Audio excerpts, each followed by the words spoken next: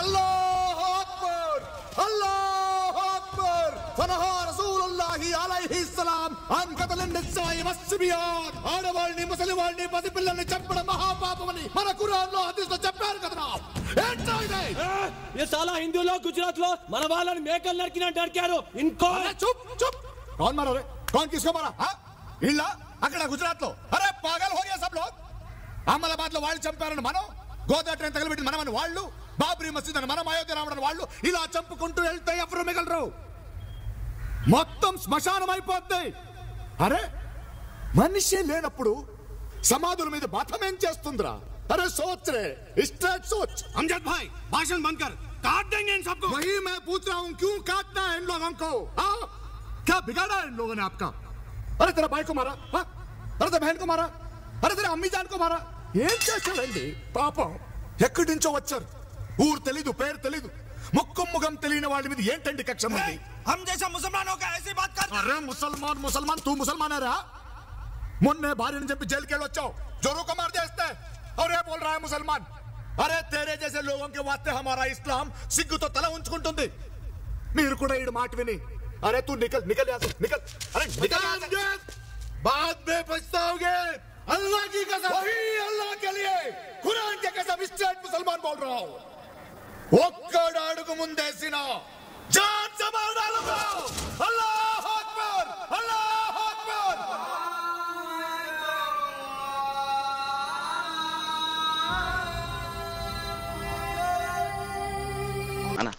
వదలమని చెప్పు నాన్న ఈ చంపు కూడా వద్దు నాన్న చెప్పు నాన్న చంపతో చెప్పు నాన్న నాన్న లేదా?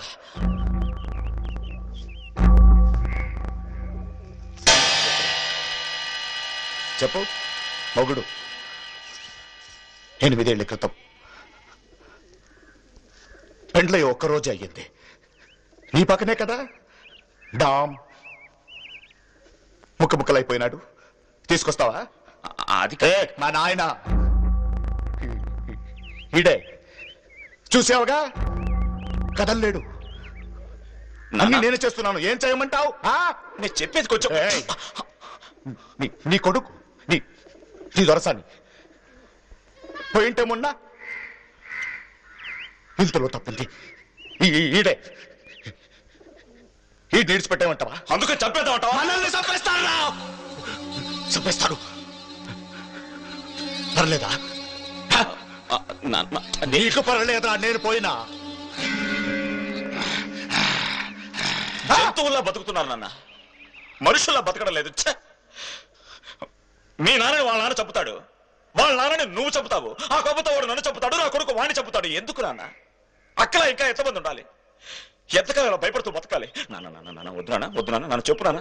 చెప్పు నాన్న చంపతో చెప్పు నాన్న ప్లీజ్ నాన్న నాన్న వద్దు సరే. పారిపోదామా?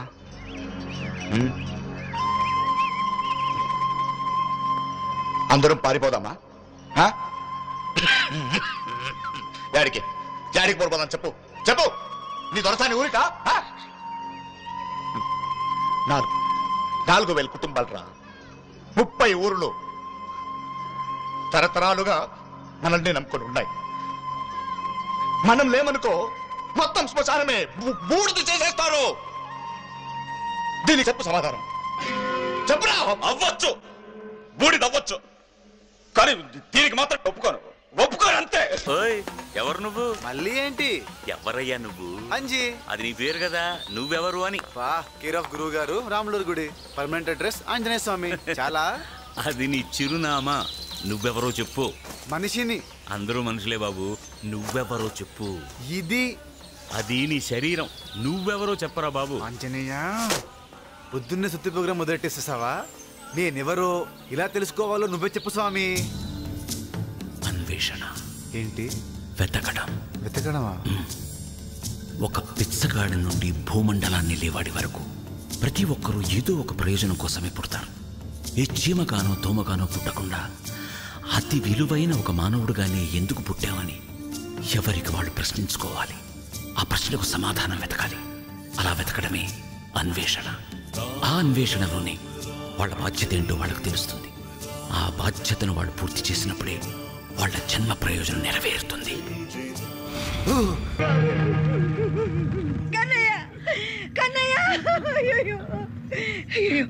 ఎందుకు నా కన్నయ్య ఎందుకు చావాలి? ఎందుకు? బాబా, వదలండి. నువ్వు ఉండు. ఈ శాపాలేంటి? చందమామ కథల్లాగా. అమ్మో తప్పు అయిపోయింది ఇప్పుడు ఏమంటావే ఇవాళే నేను పోతానా? ఏడోకు సబరి నాకు అర్థమైంది నీ గోల.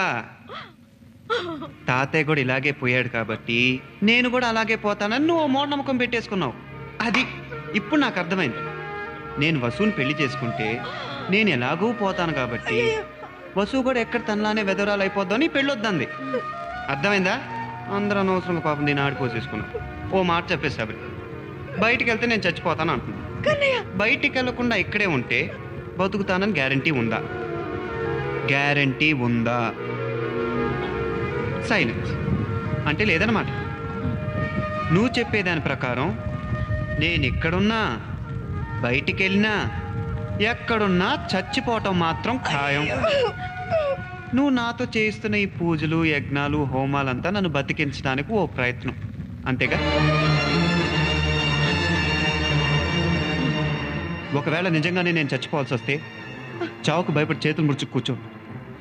ముందు నా మీదే ప్రాణాలు పెట్టుకున్న వసూలు కాపాడి తీసుకొస్తాను. శబరి నేనే తప్పు చేయలేదు. నేనెందుకు చావాలి? శబరి ఈ పూజలు యజ్ఞాలు హోమాలు దేవుళ్ళు నిజమో అబద్ధమో నాకు తెలియదు వీటి గురించి తెలుసుకునేంత వయసు కానీ తెలివితేటలు కానీ అనుభవం కానీ నాకు లేవు. నాకు తెలిసిందల్లా ఒకటే. వీటన్నిటికన్నా సంకల్పం గొప్పది సంకల్పం గొప్పది మనిషి తలుచుకుంటే ఏమన్నా చేయొచ్చు. తప్పు చేయనంత వరకు దేన్నైనా ఎదిరించవచ్చు ఇప్పుడు నేను సంకల్పించుకుంటున్నాను. ఏది ఎదురొచ్చినా నీ కోసం అమ్మ కోసం మీ అందరి కోసం వసు కోసం నా కోసం కూడా. నేను బతుకుతాను బతికి తీరతాను బతికి తీరతాను బతికి ఎంత డ్యూటీ అయినా బూట్లు వేసుకుని మసీదులోకి వచ్చేస్తారా సార్ అలాగే మేము కూడా మీ గుడిలోకి చెప్పలేసుకుని వస్తే ఊరుకుంటారా సార్ అంటే మీది మాత్రం గుడి మాది గుడి కాదు. సాబ్ ఎందుకు సార్ ఎప్పుడు చూసినా మమ్మల్ని అనుమానిస్తారు? పగల్ పనే సాబే.